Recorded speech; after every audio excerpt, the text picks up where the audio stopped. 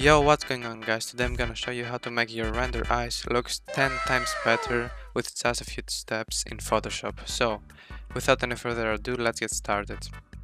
So guys, step 1 is to put your render into Photoshop, zoom in into your eyes and add a new hue and saturation adjustment layer.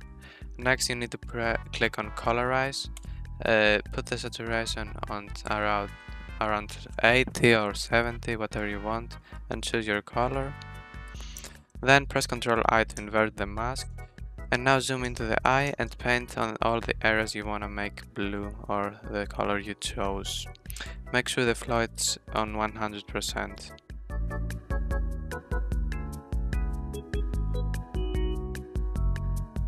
Also press X to toggle between black and white to paint and to erase.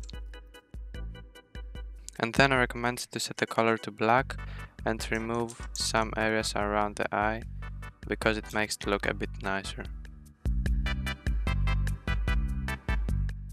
Alright guys, now you're gonna add another layer. Uh, hold Alt in between the layers to clipping mask it and set the blend mode to overlay. Then paint with white on the bottom places of the eye, just like I do. Just like that and then create another layer, clipping mask it and put it also on top overlay.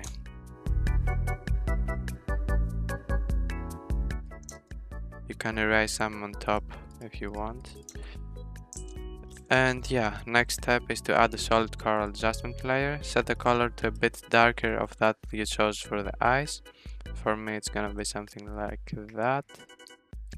Now click on the mask and press Ctrl I to invert it and set the blend mode to linear dodge add.